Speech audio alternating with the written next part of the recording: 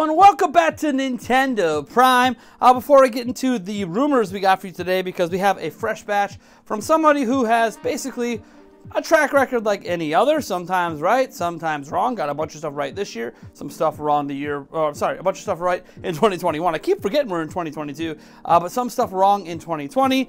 Obviously, there's also a pandemic, so maybe that's an excuse to get stuff wrong. I have no idea. All I know is we're talking about this stuff because it's extremely exciting. Uh, but yes, it is a rumor video. We're not like, you know, BSing you. It's in the title. So, anyways, um, before we get into that, I want to remind you that we are giving away a $100 in cash money to a lucky new subscriber here in the month of January. Uh, we're running this all the way through January 27th, so we should have the winner drawn on the 28th.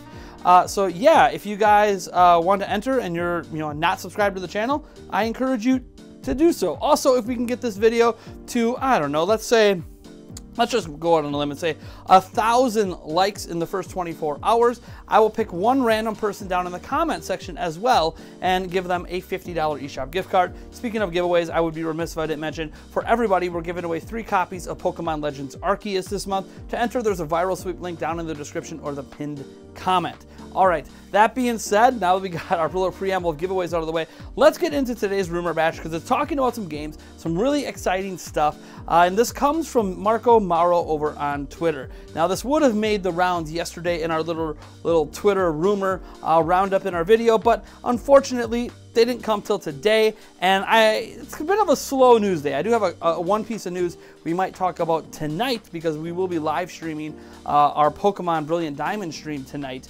Uh, hopefully, getting even further in the game there. But the thing is, I want to focus on these rumors because they're about stuff happening this year, stuff that we might have already heard about before, but maybe have more confirmation on it here, including some exact release dates. Uh, and if these release dates are right, that's just going to lead even more credit to uh, Marco Mauro. So let's get into what he said on Twitter today. You guys know the drill. Blur it up, get to the tweets, and then talk. So first up here we have uh, Kirby and the Forgotten Land new info uh, is apparently coming later this month alongside a new look at Advance Wars 1 plus 2. Now personally, this feels like a Nintendo Direct, but he doesn't specifically mention a Direct, so we'll go from there. Uh, it also says it looks like uh, Kirby will be launching on March 25th, and Advance Wars will be launching on April 8th, which by the way, the Advance Wars 1 plus 2 reboot camp date actually leaked on the eShop, so April 8th already something floating out there. So not, not so much credit for that, but if the Kirby date is correct, that would be obviously pretty awesome. There's also a couple of minor games to be announced for the spring season, including Fire Emblem Echoes, which should release in the first half of 2022 too. That's the next you know, six months, so by the end of June. People are worried about the Zelda Breath of the Wild sequel, and if Wind Waker and or Twilight Princess HD is releasing this year, I should remind them that in the past, they have released two Zelda games in the same year, like Ocarina of Time 3D and Skyward Sword in 2011, or Majora's Mask 3D and Tri Force Heroes in 2015. These games are considered minor releases for them. It's basically the same games from the Wii U with some small fixes where Wind Waker actually gets most of those fixes. That's why they were planning to release both as a pack, a bundle but he doesn't know if this is still the case, and that's why they didn't release it in 2021 with Skyward Sword HD. That was in development for around two years, and the same studio behind those games are doing the Wii U ports. The new Pikmin unlikely will have a chance with the packed schedule for 2022, aka if there's a new Pikmin game, it's probably not going to be coming out this year, according to him, but I believe that at least it will be announced later this year Development of this game was a little bit of hell and was only until 2018 when they started working seriously on it after they restarted development from the original development of it, which Miyamoto talked about in the past, about how the next Pikmin game is almost done. Apparently got rebooted in 2018. All right, other notes that uh, I found when he was responding to people asking him questions is uh, the Pikmin game started out as Pikmin 4 from the very beginning, but I don't know if that's going to be the final name, aka that's basically what it was called when Miyamoto said the game was almost done, but obviously that might not be the case anymore. And then he does mention the Donkey Kong game that was rumored last year, and he says, more about the Donkey Kong game in a few months. The the game is coming this year, and I don't think it will be delayed. Now, again, we haven't heard much about that Donkey Kong game uh, rumor for a while. It's kind of one of those we kind of assume it exists, but nobody actually like the big thing about the Donkey Kong game rumor from 2021 is that none of the people who said it's real said they actually know when Nintendo's going to release it or unveil it. We kind of hoped it would be done for Donkey Kong's 40th last year, but it wasn't. So yeah, it's one of those uh, weird situations where we aren't really sure when we're going to see this game if it's real. Is it going to end up becoming a Star Fox Racing situation where heavily rumored game never actually gets announced? Was it a real thing? Did it get canceled? Nobody seems to have any direct info on that because again, it was never actually talked about publicly by Nintendo. It's unlike if Metroid Prime 4 got like canceled. That would be really strange since Nintendo's talked about it publicly twice now. The original announcement and then the quote unquote reboot. I guess I can't say delay because it never had a release date, but the reboot. So yeah, um, what I find obviously fascinating in this batch of info is the idea that there's a new Fire Emblem game, specifically the Fire Emblem Echoes, which is like a you know another. It, it would follow the trend of Fire Emblem where they release like a new generation of Fire Emblem games and then they obviously like remaster, remake old ones. Echoes is one that's been heavily hinted at for a while. The fact that he says it's coming out this year, I think, is probably a pretty safe bet if you look at when the last time we got Fire Emblem Three Houses and the normal development cycle of Fire Emblem games. But still, we'll have to wait and see on that front. So yeah, what do we basically learn here? I just want to glance at the notes here. We obviously learned our Pikmin game is coming. Probably not this year, according to Marco Maro. Uh, we learned that Kirby and the Forgotten Lands coming on the 25th. Uh, we learned that there's going to be a Fire Emblem Echoes game likely coming in the first six months. Uh, and yeah, obviously Wind Waker HD and Twilight Princess HD, one of the two, if not both of them bundled together, should be coming this year as well. Doesn't actually specify when. Jeff Grubb, by the way, has also backed up the Wind Waker Twilight Princess thing happening this year. And I know some people doubted it because of the release of Breath of the Wild, but again, they have done two Zelda games in the past, uh, and they consider their re-releases like this to actually be considered major releases. You might go, but they hyped up Skyward Sword. Well, I mean, yeah, but there was nothing else coming last year, so like that we're gonna act like that was the big Zelda announcement. Technically, we got Zelda Game and Watch.